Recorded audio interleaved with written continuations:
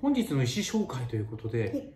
こちらの立派なこの石はこれなんていう石ですか？これはフローライト。フローライト、はい。の原石なんですけど、はい。えっと、メキシコ産のフローライトです。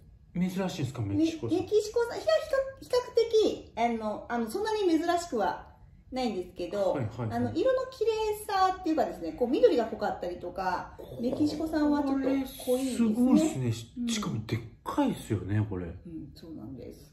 この青とも言えないグリーンとも言えないこの綺麗な加減とでも中に結構紅っぽいのも入ってたりして。ちょっと芸術的ですよね。これすごいこれそしてライトにもなる。つけてみます？つけてみますか？つけてみますね。よいしょ。すごいもっとね実物見るともうちょっと綺麗なライトな感じなんですけど、じゃあちょっと消してもらって。これいくら？これいくらでしたっけ ?7 万、7万ぐらいですね。しますよね。これだけね立派な。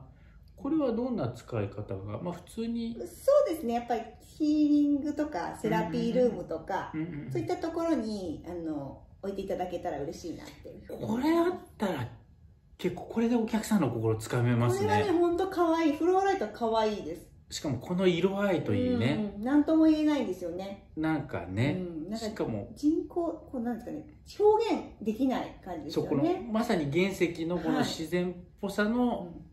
作り物じゃないライト感っていうね。はい、優しい光ですね。これはねぜひおすすめしたい。これこれ欲しいな。これ欲しいけど7万か。ぜひお金のある方はフローライトのここんだけ珍しい原石はね大きないい感じそう綺麗な。ね原石ははい。なかなかないということで、うん。ぜひご検討いただければと